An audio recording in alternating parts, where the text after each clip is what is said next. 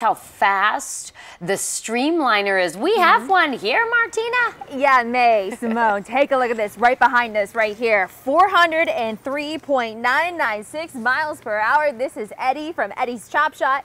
You made this and you got to drive it, right? Yes. All right, talk to us about this car that you haven't named just yet. Even Chroma likes it. Look at Chroma trying to pay attention to the car too.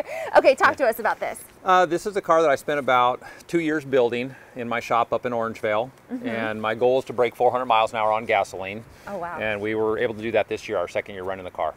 So your second year running the car. Okay, so Jono's taking a look inside right now. What, I mean, this is a one person car, right? Yes, one person. no, no passengers yet. We might add a seat and then we can charge for rides. Yes. That would be fun. Where did we able to race this at? Uh, we race in two locations. We take it to the Bonneville Salt Flats in Utah, and we okay. also run it at El Mirage, which is in Southern California in the high desert.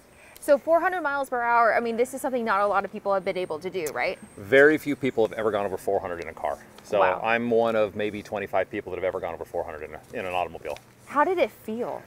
It's awesome. Yeah. Yeah, it's I get asked that a lot. It's a very difficult question to answer because uh, you're out there in the middle of this huge expanse where you don't have anything to really visualize mm -hmm. a reference to. You know, so you, all you have is the course markers, and at 400 you're doing a mile in eight seconds. So wow. the, the amount of territory you're covering in that eight seconds is incredible. That's amazing. So what do you do next? What's the goal next? Uh, just to go out and go faster. So we have the record for our class. So we are the fastest car in the world on gasoline. So the only cars faster than us are running either more exotic fuels or more exotic engines. Mm -hmm. So we are already the fastest of what we do. But now we want to actually try to go out and compete with the next higher class mm -hmm. uh, that runs more exotic fuel, but we're going to try to do it on our existing combination, which is more difficult. Oh, wow. That's so cool. And also to get in the record books, you have to do it two days in a row, right? Yes, you got to actually make two runs back to back. Uh, then they average the two together to get the record. So we actually um, really had a, a, unfortunate set of events this year. When we went 403 miles an hour this year, it rained that day. So they canceled the meet.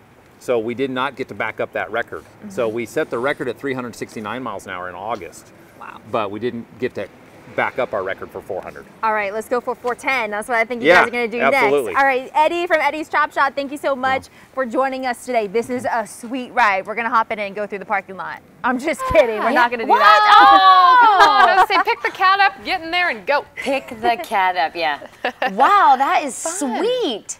It's right here in the backyard. Pretty awesome. All right, Martina, thank you. Sweet gesture. During his time of grief, George W. Bush taking a moment to lighten things up at his father's funeral. The candid moment caught on camera between him